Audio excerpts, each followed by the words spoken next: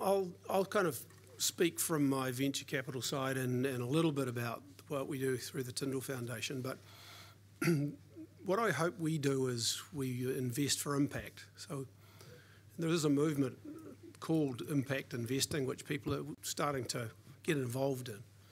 But what, it, what it's all about is actually looking at causes and then looking for ways that you can invest that actually help the country. Uh, not everything we've invested in would be for an environmental reason, but quite a number of them are. Uh, and, and I think about, for example, a company we've invested in which has established itself now in just out of Gisborne called Wood Engineering Timber, WET. And what that company does is it chops up the very um, large number of logs, you know, that we're exporting every year to China in particular for a very low value. Chops them up into little pieces and then re-glue lams them back together, which makes incredibly strong structural timber. You use every single piece of the tree and we're, you know, it's only going to be producing its first timber this year, but all the economic studies show that we will be able to basically sell this timber at a premium and we've, we've eliminated this problem of selling lots and lots of low value trees.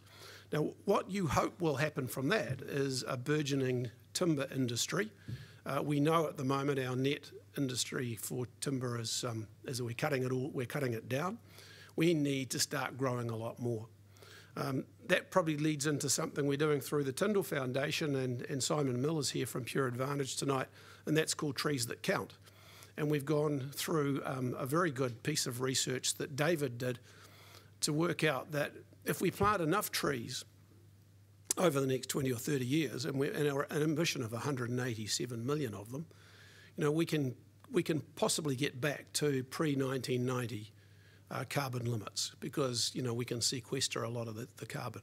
So there's a kind of a, a tree theme. Um, another area that, uh, you know, we've been uh, very excited about is uh, taking waste. So there's two companies we've invested in that take waste and, and turn it into, into valuable products. The first one started up in, uh, at Glenbrook at the steel mill here in, in Auckland. Uh, it's now migrated to, uh, to uh, Chicago. And what it does is, at the moment, it's taking waste from steel mills and um, so it comes off the smokestacks of steam mill, uh, of steel mills and it turns it into into ethanol. And just one of these plants make millions, in fact billions of litres of, of uh, ethanol.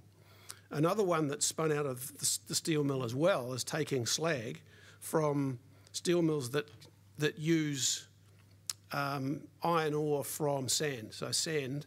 Um, and there are a number of those around the world. We're not, we're not unique in New Zealand that does that. And we can turn that into titanium dioxide. Titanium dioxide sells as a commodity on the world market at the moment for $2,400 per tonne, US dollars, and we can make it for much, much less than the industry makes it. Now, the other really good thing about that is A, you use up the slag, but B, the toxicity of the manufacture of titanium dioxide is dire.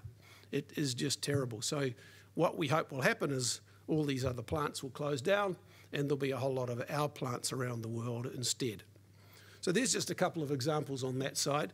Uh, in terms of impact investing from a philanthropy point of view, the best example uh, that I could, I could suggest at the moment that we've experienced is, is in housing. So we've supported a group which we helped get started about 18 years ago called the New Zealand Housing Foundation, and they they build houses for for low income people, but from an from an ownership perspective. So we think about the housing continuum of social housing down here, where you actually have people on benefits and, and, and sometimes actually keep people locked in because they can't get on the property ladder and they just keep renting all their lives, or, or the houses provided all their lives by the state, to over here where you know where you actually own your own home. And we think we come in more towards the own your own home area because we provide joint equity so people can actually afford to, to buy a house, but buy it with someone else who helps provide some of the capital, but also rent to buy. And, and there's some fantastic examples around the world of, of um, housing foundations or communities that actually work together uh, in areas that actually have far better outcomes than you see in ghetto areas of social housing. So there's my penny's worth.